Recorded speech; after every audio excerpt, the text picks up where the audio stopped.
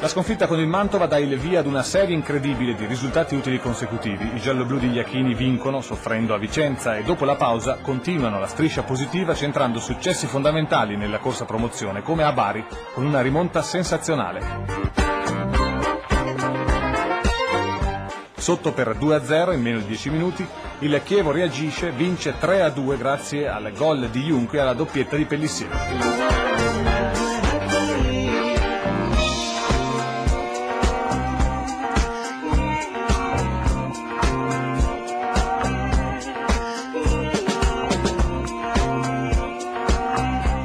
Contro le cosiddette piccole la squadra di Iachini riesce a vincere quasi sempre.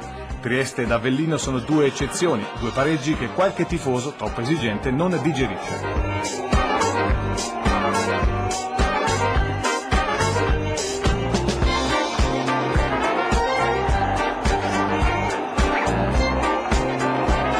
Il 23 febbraio, dopo l'1-1 in Irpigna, il Chievo è primo in classifica da solo con un punto di vantaggio sul Bologna, sconfitto 2-0 a Brescia.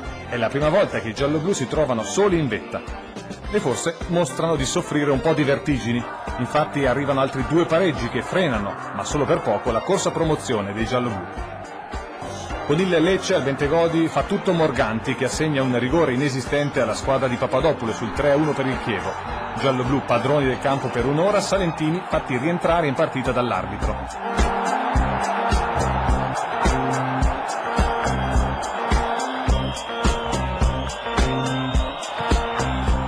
Pareggiano e sfiorano il clamoroso successo nel recupero. Squizzi questa volta fa il miracolo e neutralizza il rigore di Abruscato.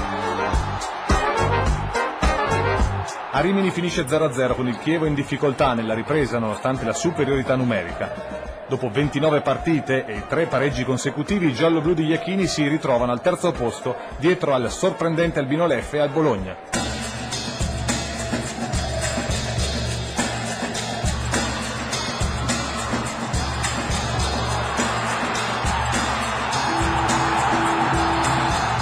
Ma la vetta della classifica e dunque la promozione diretta è lì a portata di mano. Il 15 marzo al Bentegodi arriva l'Ascoli, una delle formazioni più in forma. Il Chievo stravince grazie ai suoi cannonieri, Pellissier e Dobin.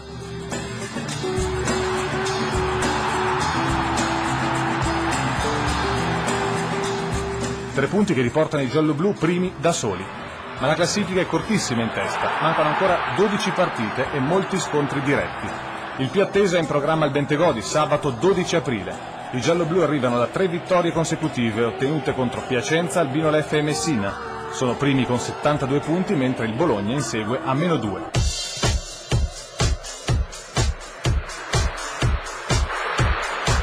Il Chievo parte forte ma non passa, segna a sorpresa il Bologna con Vagliani, rimedia Pellissier. La squadra di Arrigoni fa capire che il pareggio è un buon risultato, i gialloblu di Iachini evitano rischi inutili e accettano il punto.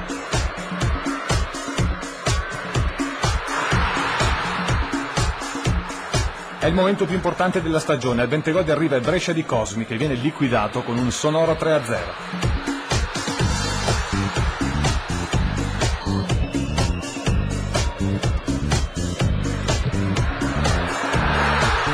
Pisa la serie positiva continua con un buon pareggio mentre il Bologna cade clamorosamente sul campo dell'Albino Leffe.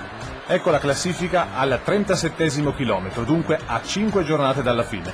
Chievo 77, Albino Leffe 74, Lecce 73, Bologna 72.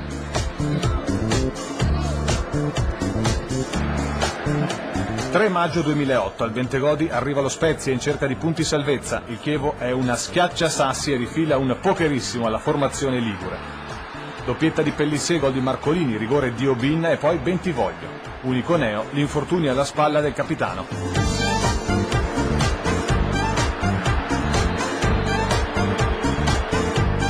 Classifica sorride ai gialloblu anche dopo il KO di misura di Mantova che interrompe la serie di 20 risultati utili consecutivi. Pellissier a bordo campo con il tutore, Chievo sconfitto ma sempre primo. Visto che il Bologna viene battuto 3-0 sul campo del Grosseto, l'Albino Leffe perde 4-0 in casa con il Lecce e con identico risultato, il Brescia, che potrebbe rientrare nella corsa per i primi due posti, viene sconfitto dall'Ascoli.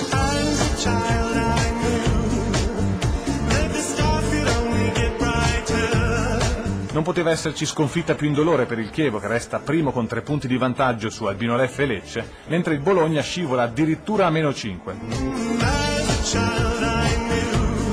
Clamorosi anche i risultati della terzultima giornata, il Lecce che perde in casa con il Bari, l'Albino Leffe sconfitto ad Ascoli, vincono Chievo e Bologna, il giallo-blu 2-1 con il Vicenza e il rosso-blu 3-0 con il Messina. E così la classifica, quando mancano due giornate al termine, vede i giallo-blu primissimi con ben 5 punti di vantaggio sul Bologna e 6 su Albino Leffe e Lecce. Basta un punto a Grosseto per fare festa e il punto arriva.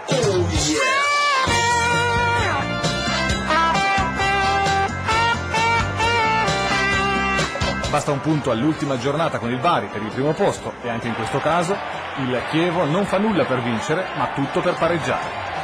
Poi c'è solo spazio per i festeggiamenti in campo e fuori, nel parcheggio di Via Sogare. Siamo sulla buona strada e c'è il vola in alto, tutti i giornali l'ha scritto. Ci avarea mai dito.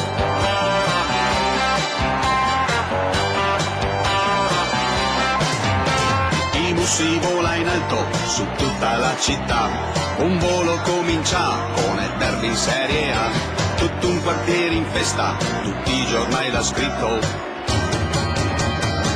Ci avarea mai dito, se tornare in Serie A. Ci avarea mai dito, se tornare in Serie A. Ci avarea